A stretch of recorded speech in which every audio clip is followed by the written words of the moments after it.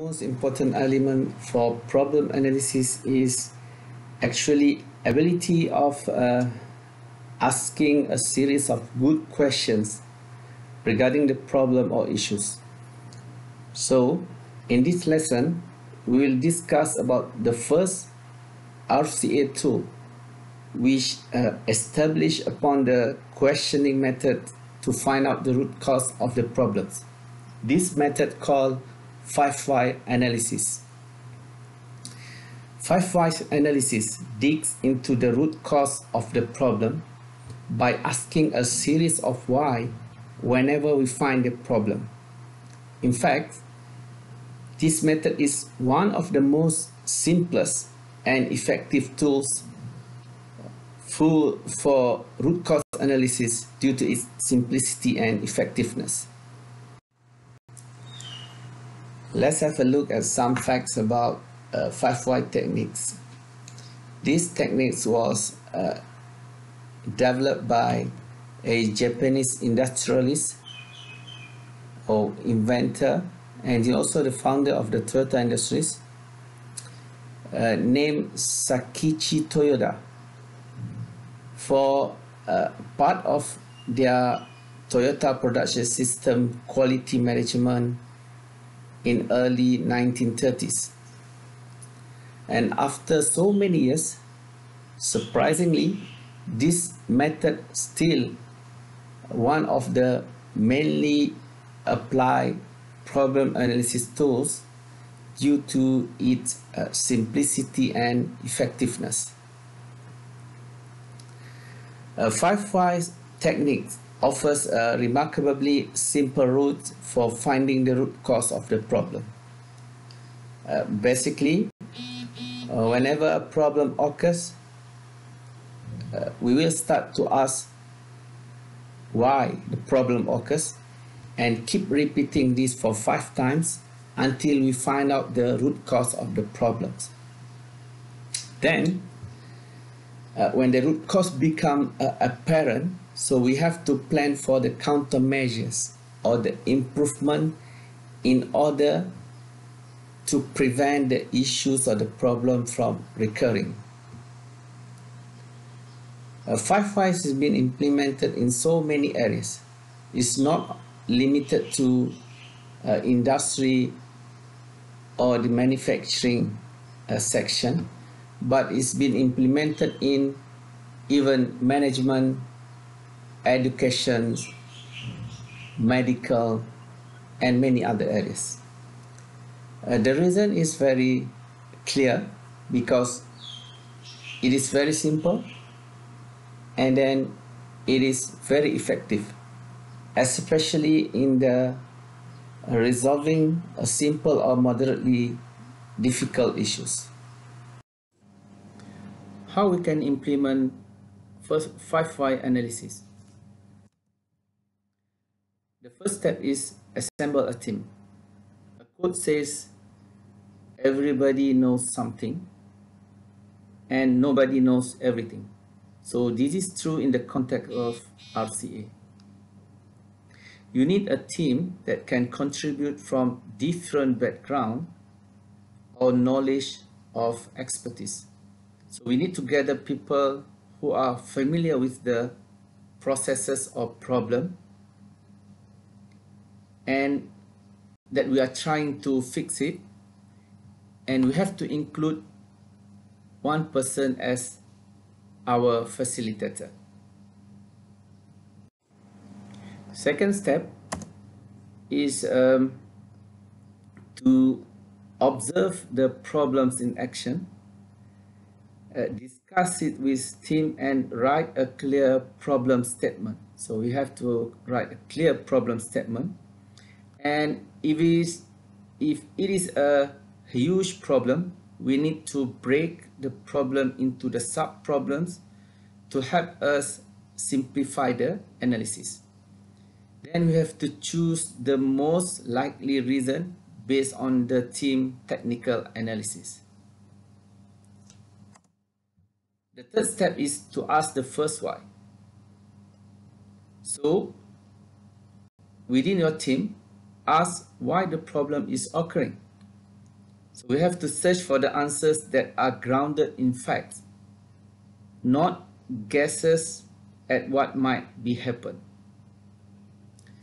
Then, for the next step, we have to ask four more times of why. For each of the answers in step 3, ask four more further whys in succession. But we have to know when to stop. We basically stop asking why when it produces no more useful responses or we cannot go on further finding the reason. The next step is we have to, once we have reached 5y, we basically have identified at least one root cause and we have to discuss and agree with our team. So we also have to agree on the countermeasure to the root cause of the problem. So once we reach this step, we have to monitor our countermeasures or the control action and to watch on how effectively our countermeasures eliminate or minimize the problem. We may need to amend or to correct them or to replace them entirely if our countermeasure is not accurate or not effective.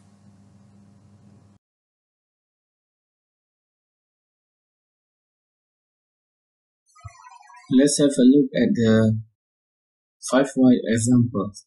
We start with very uh, simple examples eh, to actually find out what is the root cause to this problem. So the problem is um, a technician was injured because he slipped and fell down when performing the routine maintenance at the production line. So the problem was uh, the technician slipped and fell down. So we asked our first why, which is why the technician sleep. So based on our inspection and uh, analysis at the area, so we found out that the technician sleep because there is a puddle of water on the floor. Then we continue to ask another why. Why there is water on the floor? And when we done the checking, we realized that it is because the overhead pipe is leaking that caused the water on the floor. Then we asked another why. Why the pipe leaked? We found out that the reason was because the water pressure in the pipe was very high. Then we continue again to ask why the water pressure was very high. The reason was, based on our inspection, we found out that the pressure was very high because the control valve was not correctly working. So now we reach the fifth why, which is why the control valve failed. So we notice that the valve has never been checked and maintained since it's been installed. Finally, based on 5Y analysis, we are able to address the root cause to this problem, which eventually due to the lack of maintenance schedule.